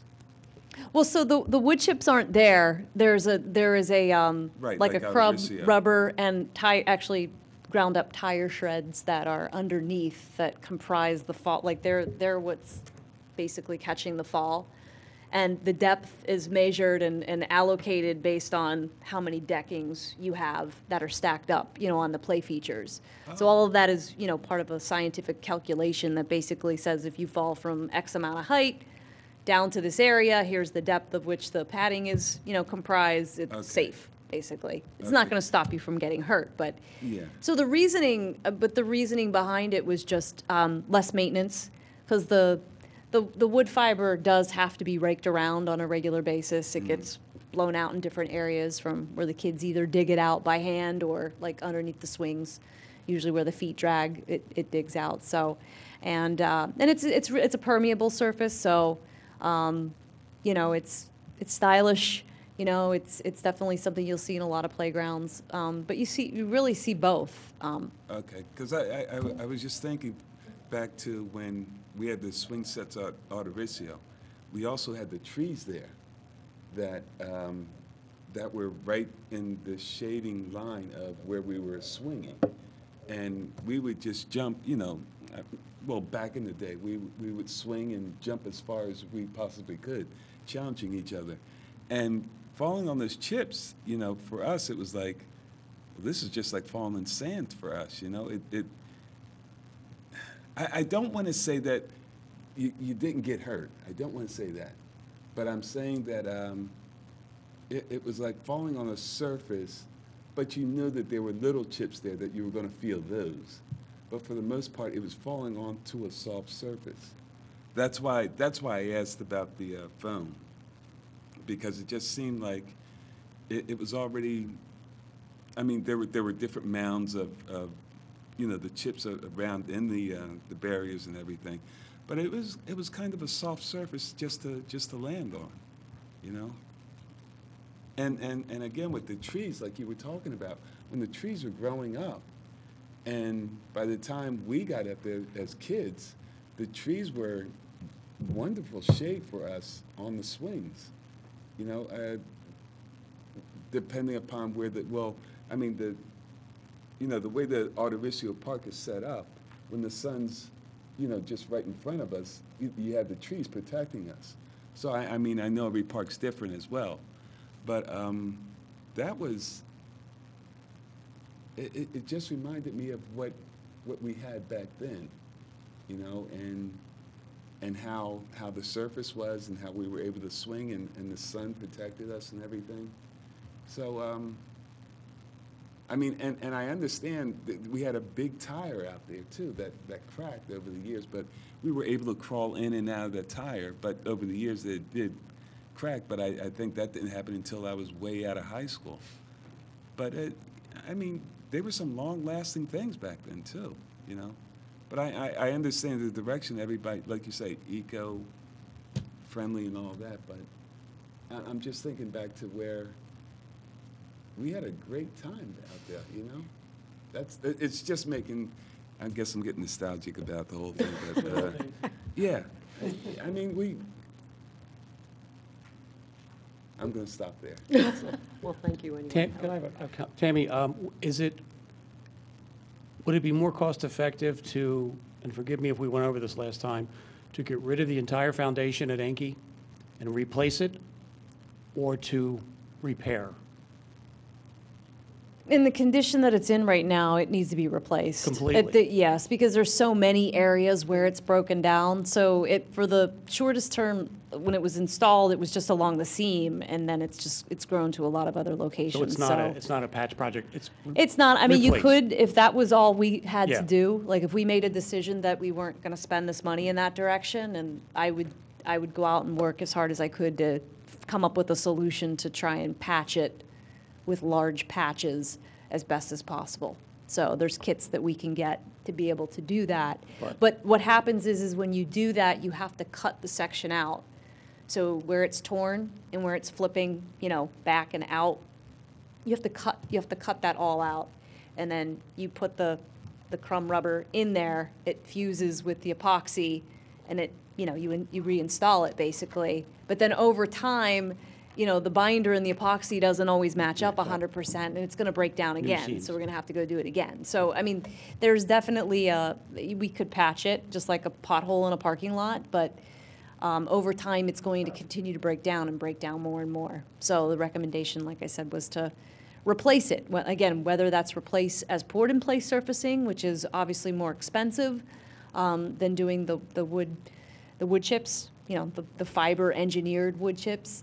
Uh, But we can evaluate that, um, because there is a cost differential. If we wanted to restore it in that direction, we can Well, certainly do that. but that. I think it would be Both to would un- be the same amount of safety, just, it's not that you compromise safety with the fall attenuated wood chips. They work in the same way that the poured-in-place surfacing does. It's just, they're not as consistent across the surface. So you have variability across the surface that occurs over time because the stuff gets kicked around, it washes out, it moves, and then obviously the Parks and Rec Department, the Public, Public Works uh-huh. Department has to refill it, if that makes sense. So, and that was actually going to be my point about it- cost, you know, we can look at cost in terms of what it costs to install one or the other, but if over the course of a 10, 15-year mm-hmm. lifespan, it costs us significantly more in maintenance, and maybe it doesn't, because the one, you said that the, the rubber surface has to be, have, like, be blown, off has the crumble blown off it. But if there's a significant dif- cost in, difference in maintenance costs, I think it's worth making sure the commissioners understand that when they make a decision. And I just have a couple comments. Um, One is that uh, regarding the, sh- the the shade, you're absolutely right. I did a lot of research, Tammy. If you can find a park with our seasons who has that, none of them are usually parks. They're actually like Sesame Place and daycares. But to find a public park that has that type of sail that covers it, like you said, you have to go to like Arizona. Like I did a lot of research to find. It's just very because it's the maintenance is extremely expensive, you know, to to take care of these. So there's not a lot out there. So I love your idea. I think that's great, Sean. Um, the one suggestion I'll make, and this is just my way of kind of like Mary said to looking at this and evaluating it. Uh, there are three parks I think noted that needed uh, or asked for it. Perhaps we could from a supply standpoint as well, maybe get a quote for all three parks and what that would cost to try to save on that, just throwing it out there, especially with supply going on right now. Um, Is that my cricket? That's me. I was like, um, if- Sorry. If I have like a bug in my, I'm sorry. I brought my Okay, pet- I brought my the, uh, pet cricket with So that, me. that, but I think you're spot on, Sean. I think something natural uh, fits It's a it. spring peeper.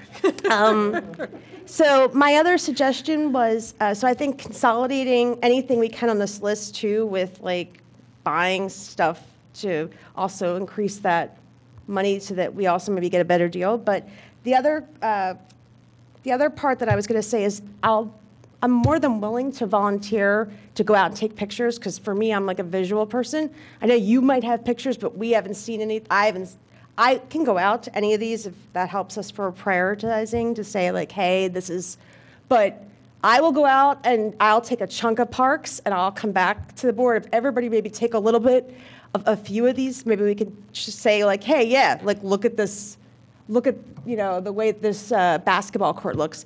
I think that might help to give a little perspective in terms of how bad things are really. And then my last comment, and then I'll stop talking. Um, like, install AEDs and convert traditional fountains. I think it's fantastic. And I think those are things that, that kind of stuff, especially with COVID, that we need to think about safety, cleanliness, whatever we can do to keep things moving. So I absolutely think that that stuff needs to be done. But, um, so I'm just placing it out there that I will volunteer to go out and take pictures of anything that, to help bring our own awareness of what needs to be Go it, done. Christina. And if, I think if everyone took a chunk of that, I think it would help for us to kind of consolidate those pictures and say, this is today's snapshot of what this park looks like right now and what we have to do. And then, I think that was it. The only other option too is, is we can do some solar things with the uh, sunshades. There's solar options, just putting it out there. It's just, they're still high maintenance and a lot of work. So I'm in the solar business, so that's the only other thing, so. minute. Go- Yeah, Sorry, so that's all. Christina, sorry, Yeah, let me, yeah. let me uh, uh, just jump in. Um, Yeah. Yeah, um, I, I like the idea of you going out and taking pictures, but I'll tell, and, and thank you for volunteering. But I think what worked wonderful last year, was it last year? Was when we did the um, on-site. So I think that if we do some of these meetings on-site, and if Ian wants to come there and record some of it, some of the discussion, it doesn't have to be all of it, or get some pictures so the people at home can see it, then uh, I think that's the best use of our time. We can see it, um, you know, we can see it and we're hands-on, we can touch it and feel it. And uh, Ian or whomever can take pictures. For the perfect example would be um, uh, the stable at Fenimore Woods. Right. What are the problems? You know, it's the roof, and then you take a picture of the roof. But as long as we're there and, uh, you know, we can all kind of see it together, I think that will add to the conversation. And one idea may spawn another idea, which would spawn another idea. So uh, to, to your point, yeah, I I think that may, that's, that's how I would look at it from a board standpoint. So if it pleases uh, Mary and, and everybody else, I think arranging some of them, uh, you know, weather permitting in the spring, summer, or fall, I think that's, uh, that's good. I wonder if it's, um, I wonder if we could do that at our next meeting, which will, I mean, by eight, that'll be mid-April, early April. I don't know. Um, I think our That too- meeting's too early in premature? April. I believe it's April 4th. It's the week April- I before, don't have a just to calendar. throw out the date. April 7th, I believe, is ah, the okay, date, kinda just so you early. know. But still, um, unless there was some reason why we really needed a, you know, an, a live here in the room type meeting, or, you know, or if failing that in May, I mean, the weather's getting nicer, it's, it's a good time to do that. There really is no, I mean, I, I thank you so much, Christina, for, for volunteering to do that. I think it's nice to have a, like a permanent, a permanent record of something you could look at anytime, 11 o'clock at night, if, they- if that's when you have free time. But, but, uh, but, well, I was gonna, I, what I was gonna suggest is everybody get out there and check out these parks, you know, in the next month. So, so there's that too, but there's also some real advantages of, of all of us, or as many of us as can do it, visiting parks at the same time and bouncing ideas off each other. I- I- And we did do this either, I- it was either last year or the year before, yeah. And it's, uh, and it's a good thing to do at least once a year, I think. I mean, we probably should make that a regular part of what we do. Uh, But I do want to encourage, to the extent people have time, um, t- you know, to try to see the parks, even on your own, fit it in a schedule on your way to, you know, the Acme or Giant or wherever you're going, CVS. Well, we all live Stop near by another park. some We of all- these, right? yeah. So if you all- Not all of them, but maybe get most of them. Five of them, You know, you know. Th- Yeah. That's, if- if I, if I could make a, two quick qua- comments. Um, Go ahead, Andy. One, with, and I think Tammy would be able to speak to this, I would, just as people are evaluating things, Encke is probably, my uneducated guess, is the park that's visited the most by non-residents of Radnor, just because of Little League and other activities there. So it may be like the sort of the face of our parks in general to the outside community. It's just something to think about, maybe in consideration of what we use it for. Um, the other thing to sort of um, piggyback off the idea about going out to the different parks, you know, something the board may want to consider is sort of having um, certain parks tied to certain members. Like, I live right by, I think, Creek Park. I run by it. Yeah. We need And, to update and that. just sort of have those sort of peop, each individual have certain parks that are sort of in their portfolio, they're sort of representations of it. Um, You know, I don't, I think I haven't been to Harford Park in 12 years, but I can tell you everything that goes on over at Ithan Creek, and I'm sure the opposite could be up for others. So just something to consider as maybe something going forward, so when these ideas do come up, or something that we see, can bring it to the board at the immediate attention, so. Andy, thanks for bringing that. up. We have, we- it's time for, it's time to refresh that list of who's assigned to what park. We haven't really talked about it much in recent memory. So it's, and there have been some changes in, in- in our, our composition here. So I think um, maybe that's on our to-do list for next month, uh, Tammy, is to revisit those park assignments and, uh, you know, periodically get a report, you know, or maybe monthly if anybody has anything to report specifically about their park or, or not. And we could catalog, that's why I was kind of going with the catalog, like you said, so that you could see how things are maybe getting deteriorated, even if they're not addressed this year, like, hey, you know, these are some pictures for our own, you know, just as the group, so that I can say, because. And, and just so you know, we do take pictures of I- all and of I- this. and I totally- have more I pictures just- than Bob Hale can find space for on the, on the drive. I'm, I'm serious. I've had to like cut space back because, I mean, he's had to like improve server space for the amount of pictures our department has. I'm, I'm just being sarcastic, but we do, we do take of everything. Every time we're on site and we see these issues to put this documentation together, we have those. I mean, Right. you know, things worsen in sometimes a month or, you know, six months or a year, so you go back and do those. I know at one point, our capital plan included that to the commissioners. But the problem with that is that, again, you know, there, you do it one year, you've got to go back and do it the next and the next. And it also was one page per project in the capital budget. So it took it from, it's already 300 pages to 500. So, but that is a project that we did work on over the years. It's something, you know, we can get back to if, you know, we're directed to do that, or if there's certain projects that, you know, are so eminent that we need to provide that, you know, that actual, you know, close-up picture or, you know, footage, whatever is needed. Okay, I'm looking at the clock and I'm looking at our agenda and I want to get everybody out of here. Um, Any more input tonight on, um, on the uh, capital projects, impact fees? Um, Or we, but, you know, yes, let's all educate ourselves and, and let's, uh, to the extent, you know, one is able to form an opinion about something based on all the various factors we laid out, um, uh, you know, let's see if we can come up with what we think are priorities, and we'll, you know, we'll get reality checks from each other and from Tammy on whether something is as urgent as we think it is, or, because, you know, uh, clearly, we're not all up to speed on all, I don't know, hundred projects here. I have a can't quick be. question. Tammy, Yeah. the impact fund, is that a certain amount that is, must be approved by the Board of Commissioners in order to use that funny, uh, funny, money, funds? It's not funny, Mike. No, it's already been earmarked for capital projects, so it's available for the taking at this point. Okay. So if we decided on one project or three, we can start to, you know, sufficiently price those out, bid them out, whatever the process is needed for said project. And then upon the appropriate authorizations from the commissioners for the spending and their approval, we would be able to make the, like, get the projects going. Okay, moving on. Uh, Tell us about basketball courts, Tammy. Sure, so real quick, the project is slated to begin on Monday, March 28th. Um, Erosion and sedimentation control will be set up, the tree boundaries will all be set up on that Monday at both parks. And soon after, construction, well, demolition is going to be getting underway. So we're going to have some notes and information um, that'll go out to members of the public. It'll be on social media, in our e-newsletter.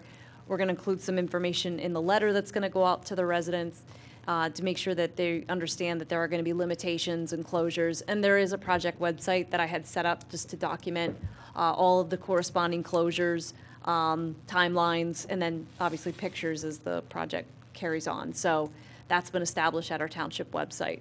So uh, we would expect that by June, both projects should be done, weather permitting. Guess I better start jogging. concrete results. Uh, Next issue, um, um, Willows Park preserving concerns about dogs in the Willows Park and the trails, and I guess parks generally. Um, Tammy and I and uh, Joanne Capuzzi, am I saying, pronouncing that properly? And Bill Gallagher, was it, from the township, had a uh, call about a week or so, maybe it was two weeks ago, um, because, uh, to talk about dogs in parks. um, because the Board of Health is, is actually reviewing uh, dog ordinances or animals uh, or- ordinances right now from a health perspective. And, um, you know, obviously, we've got an overlap. We've been talking about dogs for three or four or five years now, uh, dogs in parks, and, and Board of Health is interested in dogs in parks from a health perspective, so we obviously have a big overlap there. And uh, so we had a phone call, very productive phone call, I thought, um, just to get the ball rolling on uh, what we can or should be doing here. And I'll just recap really quickly, and Tammy, jump in if I'm missing something here or get it wrong. Um, We talked about, you know, what are the current township ordinances relating to dogs, and are they in need of revision? Again, Board of Health is looking at this. Um, uh, There are two provisions in our, or- in our township ordinances. One is a sort of at-large dog um, uh, uh, ordinance, uh, and then another one is parks specifically. So we do have some ordinances, um, and they have both uh, restrictions or prohibitions or requirements, then they have a penalty and violation section. Um, I won't go into what they say now, but for parks, it's, it's a fairly vague um, requirement that talks about having your dog under control. Um, And um, the other one deals with uh, sort of like your neighborhood dog walking, and that leashes are required. And then there's a provision about injury to humans, and there's violations there and penalties for that. Um, But what are the health-related issues concerning dogs in parks? Some of the things we talked about were injury to humans from dog bites, or dogs knocking people over, injury to dogs from dog fights, injury to dogs and humans from disease, like rabies or lack of vaccination, dog, I- I call it dog residue, left in the park, still a problem, better than it had been because of some of the improvements we made with um, the bags and the signage and uh, the the trash cans. Um, uh, Joanne is a a veterinarian, so she brought up, is it Joanne or Joan? Joan. It's Joan. Joan Capuzzi. Joan. Uh, Joan brought up the need uh, for dogs to have exercise for their health, which is a good point. Dog walking as an incentive for humans to go out and get exercise, which is a good health point. Um, Conversely, the presence of unregulated dogs discouraging other people from going into the parks and getting exercised. Unneutered dogs, and we didn't really talk about this, but this is one of my pet peeves because I, I keep tripping over these dogs. Dogs left in cars unattended and heat-related health issues. I had two incidents at the Willows last summer. I couldn't believe it. I had to call the police both times. Um, And we may have missed some, uh, but these were some of the health-related issues uh, we discussed. And we all talked about other issues that were more park-related, like dogs jumping on people and getting mud all over them, or dogs damaging wildlife in the parks and uh, frightening away wildlife, and overuse of the park, uh, the parks at the trails, um, maybe um, out-of-towners are using it, and that's exacerbating the problem. And then we talked briefly about what measures could be taken to address these problems. Signage, is that enough? We've got some signs, do we need more? Do they need to be clearer? They have to be unambiguous. Doggy bags and trash cans, we did that, and I do think it's helping to some extent, but I, I've still notice that we have a problem uh, over at Skunk Hollow at any rate. Uh, Fencing, uh, like at Friends of Radnor Trails Park, do- should we have that at Harford Dog Park? Uh, Then, of course, there's the amending the ordinances, and if so, what do we do? Do we have outright bans on dogs in certain parks? Uh, And there are outright bans in quite a few parks right now. Um, I didn't realize there were so many. I knew Willows was off limits, but there are plenty others as well. Do we have bans on s- dogs in certain parks, on certain days, at certain hours? Do we require leashes in the parks? When, uh, do, do we designate portions of certain parks or trails for dogs with or without leashes? Uh, Do we, I thought this was an interesting suggestion, require permits to have dogs in parks or just designated parks? Uh, Permits could require proof that the dog is vaccinated, neutered, et cetera. We'd get a fee from it. Uh, Would require that the dog wear a tag or something like that, other evidence of a permit. Um, do we ban non-residents from bringing dogs to Radnor Parks? Uh, You know, how do we enforce these things? Do we use video cameras? Various combinations of the above, some of the above, all of the above, one or two of the above. And um, for people who've been on the board since I released my award-winning um, report on barks in the parks, um, we looked at other township practices and we're aware of what the other municipalities have. And the most liberal of all is Radnor. Uh, Every other municipality has uh, leash requirements, uh, except for in places where they require a permit or they have restricted hours. Um, There's some creative ideas that the other municipalities are using, some, some pretty good ideas. Um, And of course, there's an absolute ban on dogs in parks and state and federal parks. So what about enforcement? Uh, We have legal mechanisms there for enforcing, but we just have to use them, but that's a resource thing, and then there are proof issues. And, um, and then the final question are, are ordinance amendments needed for some or all of these actions? Or can some of this be done at the department level? Is there discretion within the existing ordinances so that we don't have to go to the Board of Commissioners for that? Is it legally possible to do that? Is it better politically to go through the Board of Commissioners, even if that isn't necessarily what's required? I may have left a million things out. But just to summarize, what I thought was a very productive um, call, and it was good to hear some slightly different perspective um, from uh, the Board of uh, Health rep. Uh, I I thought it was a great call. But Tammy, what did I leave out, or what am I missing? I think you covered everything. I thought it was a really comprehensive phone call, and I think it was good to see Joan's perspective. Um, so I think right now we're just trying to understand the the timeline and the exact goals and objectives that the Board of Health are, are working on, so we can see how you know timeline-wise those tie in with with our discussion. Because the last thing we want to do is put something together that maybe contradicts, you know, in some way. So I think it's good now that we're working in, in unison to some degree. Um, and I, so I think right now, uh, we're just trying to get an understanding of, you know, where exactly they're headed and what timeline they're on, recognizing they have a lot of items on their plate as well as a board. Right, right. I mean, there's a lot going on with the Board of Health, obviously. Um, But Tammy, we have a, a, a bunch of um, invitations out there on social media and our website and elsewhere uh, to elicit um, input from the public, and I suspect there will be strong feelings on various sides of, of the dog issue. Um, It's always been a controversial subject, um, and there's, no, it still is. Um, uh, We want to get that input, and, um, and I think at some point, we, and in the not-too-distant future, because it really would be good to, to make some progress on this, have a dedicated public meeting, public forum, sort of à la Fenimore for the dog issue as well. Um, I'm sure it will be a very lively discussion, but I think we sort of need, you know, that kind of thing, um, where everybody agrees to be polite up front and respectful, and then, you know, really be fairly candid with their, what their opinions. So I, I, I see that in the future, but One, one quick thought or suggestion, um, just the- uh, as we learn more about what the Board of Health is doing, maybe there's a way to combine the two boards into one special meeting, just, you know, Yes. so Yeah. that. Oh, absolutely. Especially since there's so much overlap in the there's a lot of discussion. overlap, yeah. Oh, no, I think that would be very efficient, so, I don't uh, know if anybody on the yeah. board has any comment on that, or reaction, or suggestions. Happy to hear it, if, if so.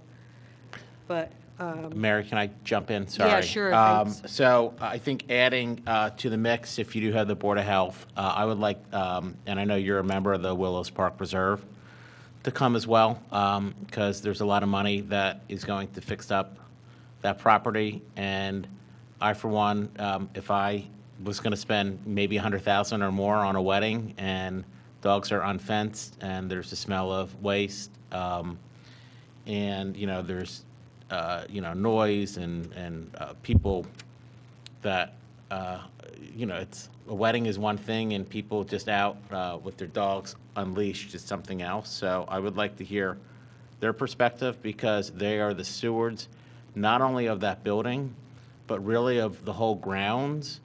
And that could, you know, really ruin someone's very special day. Yeah. So that's my, my big concern is if you could, um, you know, Oh, yeah. grab, a grab a couple of those, those people, because I think that's, um, you know, I don't want to tell you which way I'm leaning about dogs at the Willows, but that's, that's, uh, that's the Yeah. biggest concern, because if you have one bad wedding there and the word spreads, then That's- you're th- that's absolutely- it, like, that's it. And there's a lot of people working very, very hard to take something, you know, so it doesn't turn into, as you all said, the stables um, at Fenimore, and to keep something, um, you know, up and nice, and there's a lot of money and time and donations, and you have caterers and everybody, everybody else. So that's really my big thing is, is if you could um, talk to some of the Oh, absolutely. members.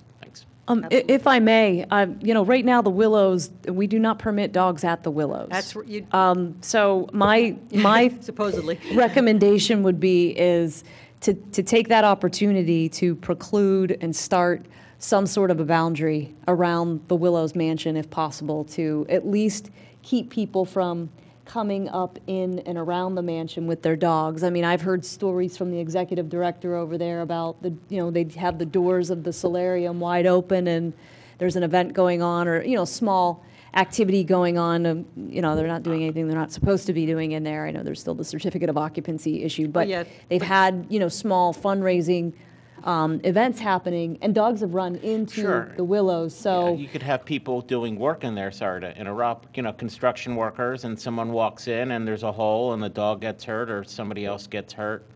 Um, Yeah, I, um, I, I think that, you know, I think, pardon, I didn't mean to interrupt, Tammy.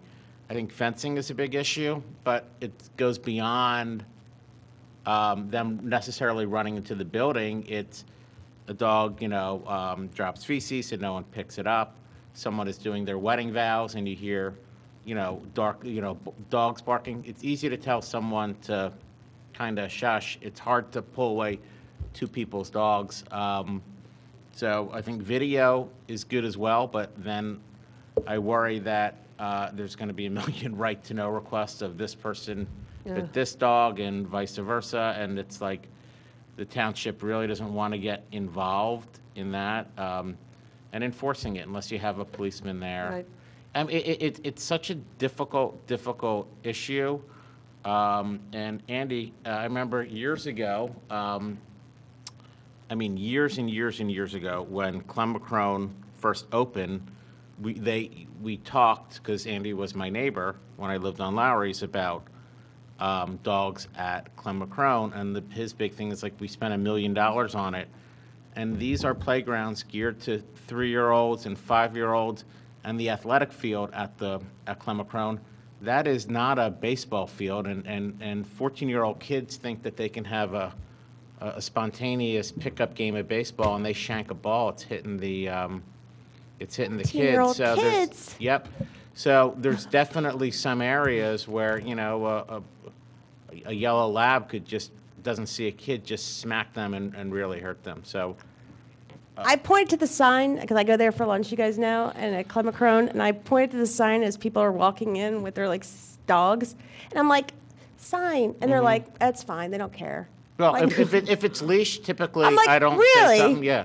I mean, I literally point. I know it's a Scottish dog. We'll talk about that later. But I really point to the sign. I'm like, "There's a sign right there. It's that's not a waste station, sir. No, you that's know, a sign." yeah. And he goes, "Yeah, they, the township doesn't Yeah, care. no, we bring it- our it's hard. Like, you know, like if you have the dog at the Fourth of July parade and it's on the leash, like no one says anything, but you can't let your dogs run wild through that park. Um, no, it, and, and you- unfortunately, people ask me as a commissioner, what do I do? One person sent me a text. He said, I don't want to be a Karen. I'm like, you got to call 911 because they let this German Shepherd actually in that playground. And like, this guy's like, I have a four-year-old, or he, he had a five-year-old daughter. And I'm like, I'm like, don't, don't call the commissioner, call 911. And, you know, but people don't want to do it. So maybe even signage like that, that, that if there is something that, where someone feels unsafe, because of a dog, and they're great. I have one, and you know, to your point, Mary, of Joan, my father is a veterinarian. He was a small animal. Actually, Andy, um, uh, your uh, your uh, father-in-law is a veterinarian as well. So, yeah, it's it's tough. We love our dogs. It's super super tough. Yeah, it is, so, and we get to resolve it. But anyway, okay. um, One last item, I think, well, we have public participation to it, I don't see anybody here. Um, Park Playground Communications Board proposal, Oh, just a quick update, uh, that, it's still under design. Um, We're looking at a couple of revisions that, with regards to the actual park features on the communication board, um, would actually not be clip art, but actual park pictures, like park um, playground obstacle and equipment pictures. So uh, hopefully, uh, we're going to have a final design within the next few weeks and and possibly even getting a sign uh, under development with a sign company. What are the signs out there right now? Sort of the newer brown? There are no, no, so this is the, the what is commu, the- these are, I don't know if you were here for the presentation that we had about the For- communication signs. For children with disabilities? Yes, Yes, yes. there's no signs there now, we're developing them. What are the signs right now? There's a sort of a brown sign right as you pull in? Did I miss- Where? I I'm thought not I aware saw- of any sign. Okay. There's No. a sign now that it says, "Let's be friends," and it's advertising uh, township social media. Maybe that's what Maybe you're that's what I- referring okay. to. That- So that's an initiative from our public information officer. okay. Um, In case I'm missing anybody out there, public participation.